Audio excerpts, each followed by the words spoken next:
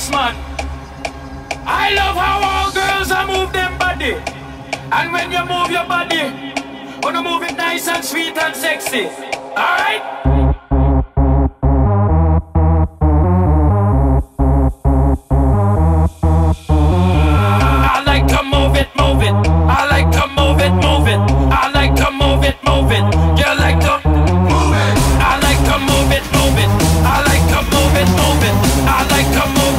it.